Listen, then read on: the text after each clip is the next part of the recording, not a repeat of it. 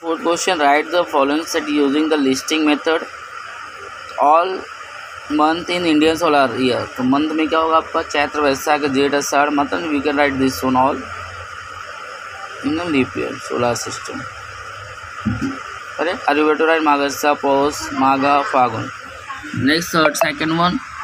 letter of word complement complement C O M comma P comma L comma M M is repeated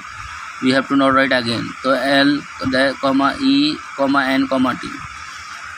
then second third question set of of the sensory organ e, तो see we can take letter C sensory organ is what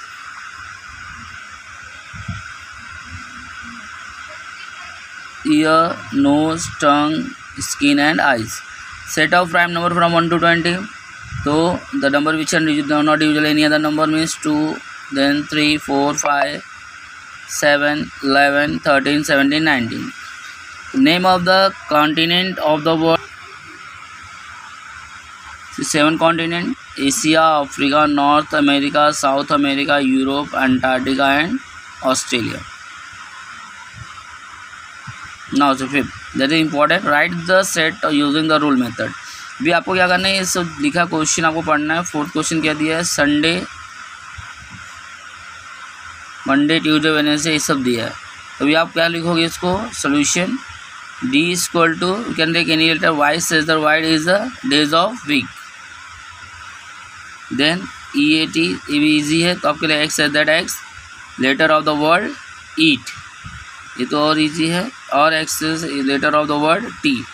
अब ये जो तीन आपको दिए हैं थोड़ा अलग है तो ये तीनों को आपको अच्छे से स्टडी करना देखिए सी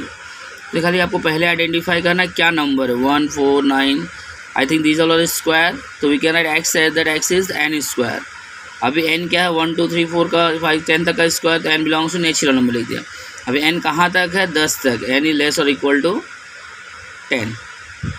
सेम आपको यहाँ भी करना छः बारह क्या है छः का टेबल है तो वाई से दर वाई टेबल है तो क्या मल्टीपल सिक्स सिक्स एन अब एन क्या होगा नेचुरल नंबर है one two three natural number N कहाँ तक है एट जाता है सिक्स लेस और equal to eight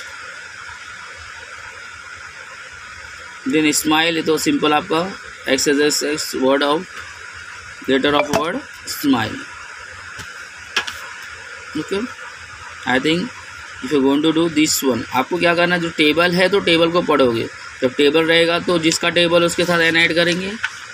करेक्ट अगर पावर है और या क्यूब है ये है तो क्यूब रहेगा पावर रहेगा तो आपके जैसे क्यूब है तो N square sorry N cube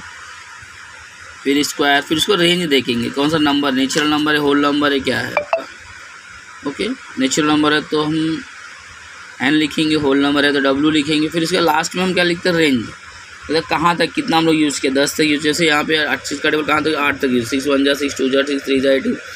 six four जा ट्वेंटी फोर सिक्स फाइव जा थर्टी सिक्स सिक्स जा थर्टी सिक्स सिक्स सेवन जा forty two six uh, eight जा फोर्टी एट तो हम इसका रेंज लिखेंगे ओके